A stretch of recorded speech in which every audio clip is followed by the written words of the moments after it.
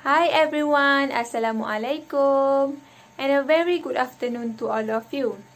Untuk sesi pengajaran dan pembelajaran di rumah kali ini, saya, Teacher Farah Hayati binti Muhammad akan mengajar kamu dalam subjek Bahasa Inggeris bagi tahun 3 Ibnu Khaldun. And everyone, welcome to my class.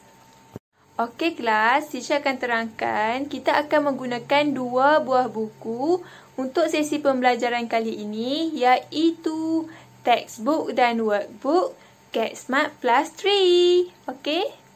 Pastikan kamu ada buku tu ya. Okey semua.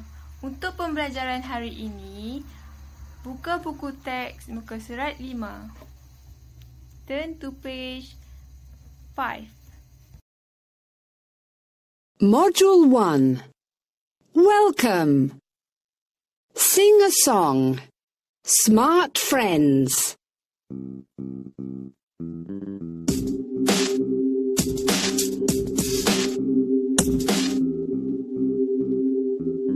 Hello, I'm Sharky. I'm a big fish. I've got big teeth and three purple fins. Who's that? Who's that?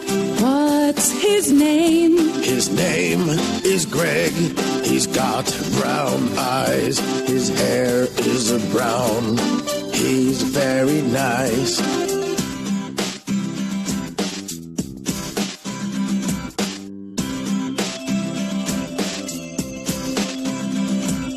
Who's that?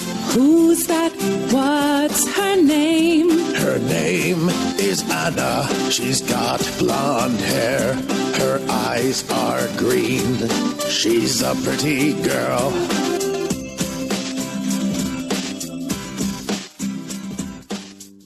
Okey, kamu semua dah dengarkan video tadi? Baik, teacher ada tiga soalan berdasarkan lagu tersebut. Let's discuss and analyze together. First question, she has got brown, blonde hair. Her eyes are green. What her name? What her name, class? Yes, great. It's Aina. Her name? Her name is Aina. Her name is Aina. And next, the second question. He has got brown eyes. His hair is brown. What's his name? What his name, class? Answer my question. Yes, yes, correct. It's great. And the third question is it has got big teeth and three purple fins. What its name? What is name, class? What is name? Yes, its name is Sharky. Its name is Sharky. Very good. Class, let's learn the vocabulary for today. Pretty. Pretty.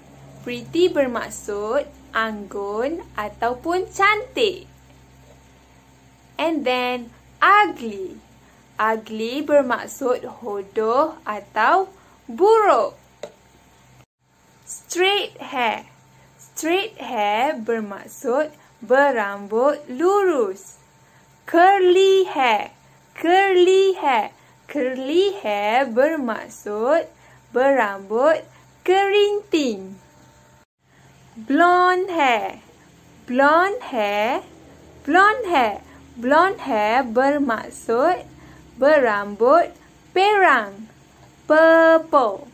Purple bermaksud ungu. Ungu. Okey semua.